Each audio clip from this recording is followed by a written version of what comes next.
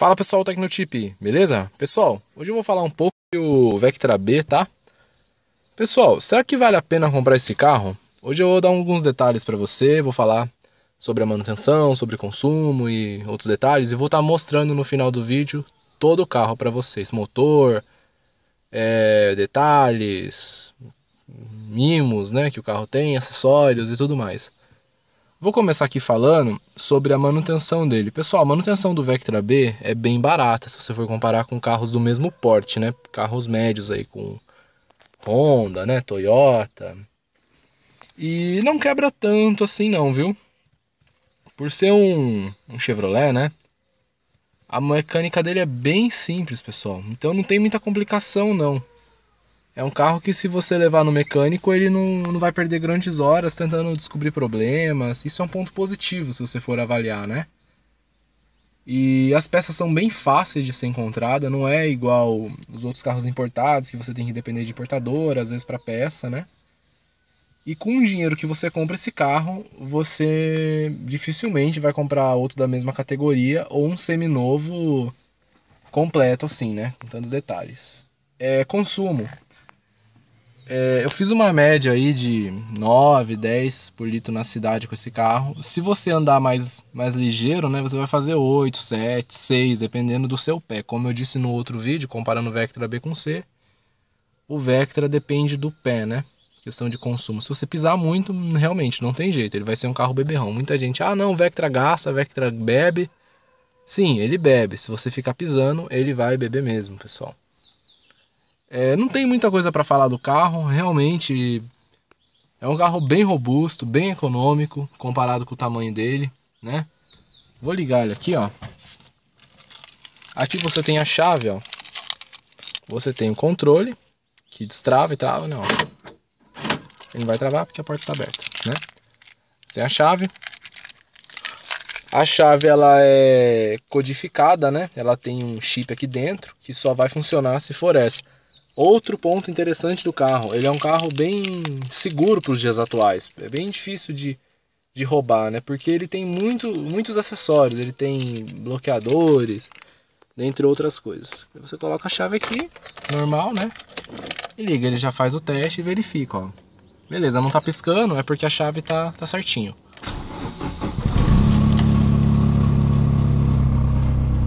É uma coisa interessante de você pesquisar antes de você comprar um Vectra. Deixa eu fechar a porta aqui, que o escapamento dele está aberto.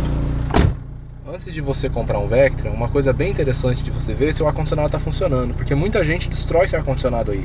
Como? Ah, vai mexer no motor, estraga a parte de mangueira, gás, aí você você vai gastar bastante dinheiro aí para estar tá arrumando. Então teste o ar-condicionado, vê se está tudo certo. Antes de comprar o carro, leva num, mecânico de refrigeração também, num, na parte para você ver a parte de ar condicionado. A questão da elétrica dele é sempre bom dar uma olhada, porque se você for pegar um 97, por exemplo, com 20 anos de uso aí, é muito importante você ver essa questão, porque é um carro bem eletrônico até, entendeu? Por ser, mesmo sendo simples, ó, ele tem muitos detalhes, ó.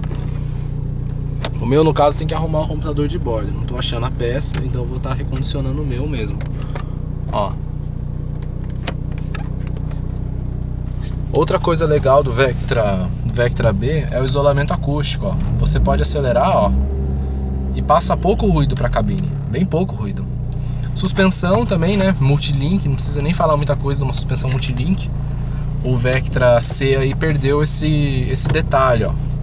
É uma suspensão muito macia que absorve bem os impactos, ó. Eu tô andando aqui com o carro,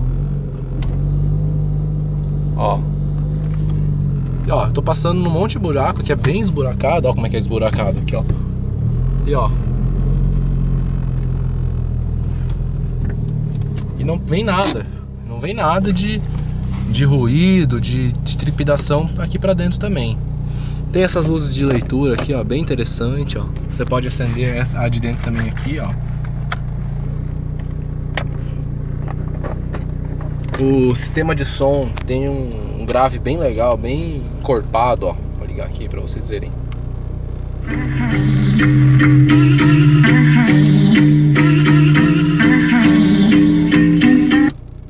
Então, bem interessante mesmo, galera. Bem interessante.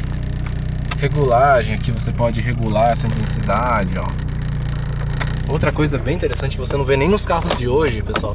Tá vendo lá dentro, não sei se vocês conseguem ver, tem um botãozinho ali, ó. Aquilo ali, quando você abre, o ar-condicionado passa a refrigerar o porta-luvas, galera. Então se quiser colocar um chocolate, alguma coisa aí que você queira que fique geladinha, ele fica geladinho, pessoal. Você aumenta ele. Outra coisa legal do Vectra B também, o ar-condicionado é bem forte, pessoal. Muito forte. Dá pau em carro. Dá, dá pau em ar-condicionado aí de muito carro aí, cara. Muito forte, ó. Não só na velocidade do vento, mas no, no gelo mesmo, cara. Esse ar-condicionado é muito legal. Muito legal. Muito forte mesmo. É que mais eu posso falar do carro? É, questão, ele tem retrovisor, desembaçador no retrovisor também, ó. Se você ligar aqui, ó, ele acende essa luzinha aqui, ó. Vou desligar também pra você ver, ó. Desligou, ligou. O que que acontece quando você liga o desembaçador? Ele tem desembaçador nos retrovisores, galera. Então, se você pega um dia aí que tá embaçado o retrovisor, é, ele vai funcionar, entendeu? Ele vai funcionar e vai e vai desembaçar aí o seu, o seu retrovisor. Isso é um ponto muito positivo, muito positivo, porque você não precisa ficar passando pano aí no, no retrovisor num dia de chuva, num dia mais de garoa, não sei. Já me ajudou bastante e é uma coisa que eu não achei no Vectra C não, pessoal. Não sei se é porque o meu é elegância, entendeu? E não tem isso. Mas esse aqui é o modelo intermediário, ó, o GLS, e tem isso, entendeu? É, versões do Vectra B, você tem a GL, a GLS e você tem a, a CD, né? É, no outro vídeo eu fiz um erro aí, eu falei que de alguns acessórios, tipo ar digital, eu falei que não tinha ar digital no GLS. Mentira, tá? Eu errei, vocês vivem falando aí, né? O que, que acontece? É que o GLS vocês têm versões com ar digital e versões sem ar digital. No CD, o ar digital é um pouco mais presente, né? Eu não sei se ele é de série, isso é realmente complicado, porque é uma informação que a gente não acha mais, a questão dos pacotes de acessórios, né? Então o legal do Vectra B é que você sempre teste a parte elétrica, que esteja tudo funcionando, sabe? Larga ele no sol para ver se não vai dar nenhum defeito fantasma. Mexe em vidro, fuça bem o carro para ver se ele tá certinho mesmo, galera. É... Deixa eu ver se tem mais coisa que eu posso falar do carro. Espaço interior, né? Quem, quem conhece Vectra sabe que o espaço dele é show de bola, né? Show de bola.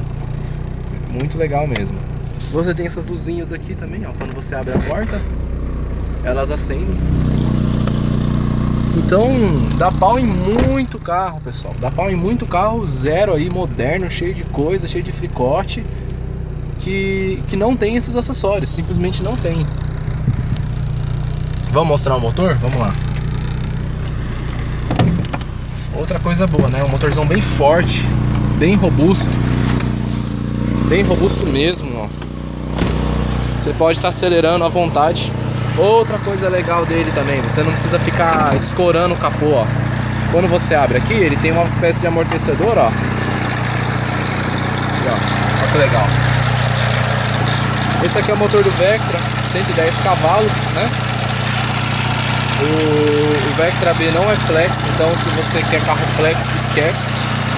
Porque o negócio do Vectra B é gasolina, né? Outra coisa legal de você ver antes de comprar um Vectra B é se o sistema elétrico não está roubando energia da bateria, pessoal. O meu tava com esse defeito e eu fui ver, era o rádio antigo. Aí eu achei o rádio original dele instalei o rádio original dele. É, vou mostrar um pouco aqui atrás. Espaço bem legal. Quem vai atrás aqui, ó, vai num conforto muito bacana.